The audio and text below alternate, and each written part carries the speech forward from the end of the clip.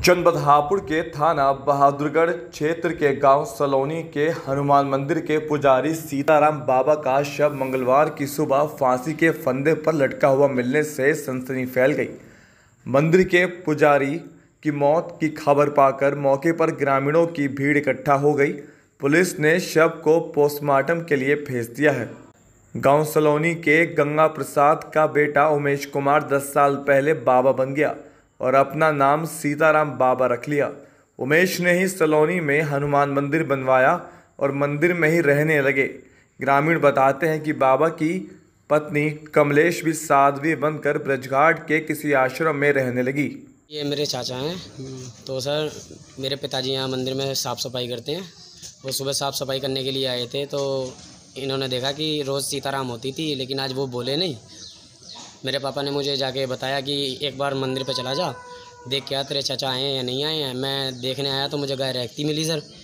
गाय रखने के बाद मैंने गाय के गोबर हटा के चारा डालना चाहा। चारा डालना था, अंदर गया तो कुंदी लगी हुई थी अंदर से। मैंने अपने पापा को बताया कि, पापा, अंदर से कुंदी लगी है। तो मैंने, सर, ऊपर से विंडो से झाँक के देखा तो हमारे जो ताराम महाराज जी हैं, चाचा जी हमारे, वो गले में रस्सी थी और ऊपर कुंदे पे जी, मैंने ग्राम प्रधान दीपक चौधरी को बुलाया।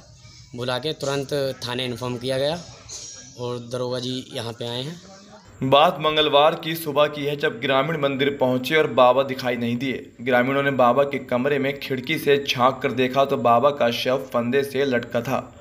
मंदिर के पुजारी की मौत की खबर पूरे गाँव में आग की तरह फैल गई। मौके पर ग्रामीण इकट्ठा हो गए और पुलिस को सूचना दी। दिनांक चार अक्टूबर को थाना बहादुरगढ़ में सूचना प्राप्त हुई कि ग्राम सिनौली के हनुमान मंदिर के पुजारी उमेश शर्मा का शव रस्सी से लटका हुआ मिला। शव को पोस्टमार्टम के लिए भेजा जा चुका है। अग्रिम वैधानिक कार्रवाई जारी है।